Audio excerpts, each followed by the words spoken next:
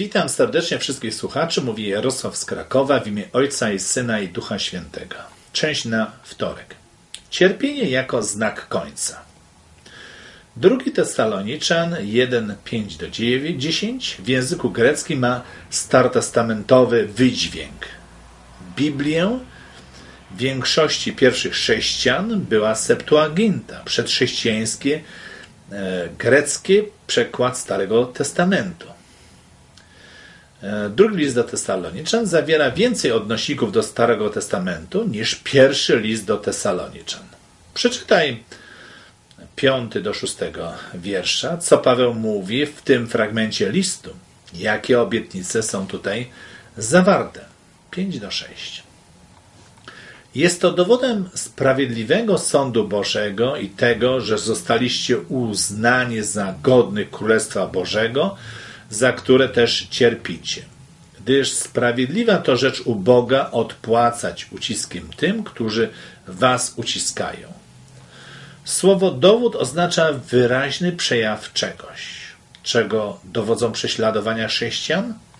Z pewnością nie sądu Boga przeciw jego ludowi. Wręcz odwrotnie, wskazują na przyszły sąd, który uniewinni lud Boży, a tych, którzy go prześladowali, wymierzy karę proporcjonalną do tego, co złego uczynili innym.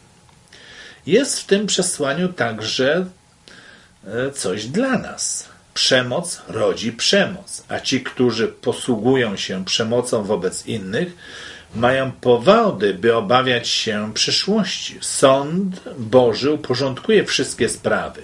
Ci, którzy prześladują lud Boży, pewnego dnia staną przed obliczem sprawiedliwości Boga.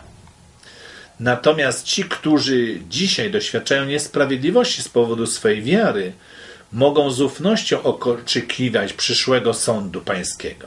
Tego dnia stanie się jasne dla wszystkich, że byli oni przedmiotem Bożej przychylności. Nowy Testament zachęca wierzących, by okazywali łaskawość, miłosierdzie i przebaczenie bliźnim.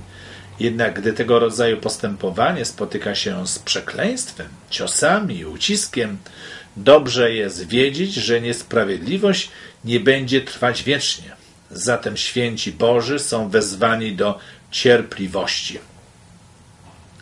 A więc 5 do 6 Paweł przypomina prześladowanym Tesaloniczanom, że sprawiedliwy sąd Boży w przyszłości będzie formą okazania im aprobaty, jaką Pan ma dla nich obecnie. Ponadto ich cierpliwość i wiara wobec prób świadczą, że Najwyższy ich wybrał. W ten sposób cierpienie chrześcijan może być podstawą radości. Jest ono realną wskazówką pokazującą po czyjej stronie będziemy, gdy Jezus przyjdzie. Pierwszy Tesaloniczan 1.5 przedstawia sprawiedliwy sąd Boży w świetle jego aprobaty okazanej Tesaloniczan. 1 do 6 ukazuje go od strony potępienia i zniszczenia prześladowców. W obu przypadkach sąd jest ostatecznym efektem obiecanego postępowania. Czy byłeś niesłusznie uciskany przez ludzi, którzy nie ponieśli z tego powodu żadnych negatywnych skutków?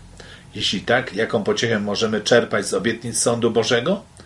Spójrz na to też z innej strony. Czy traktowałeś ludzi źle, niesprawiedliwie, a mimo to udało ci się ujść bezkarnie, przynajmniej jak dotąd? Jeśli tak, jak postrzegasz zapowiedź ostatecznego sądu pańskiego? Dziękuję.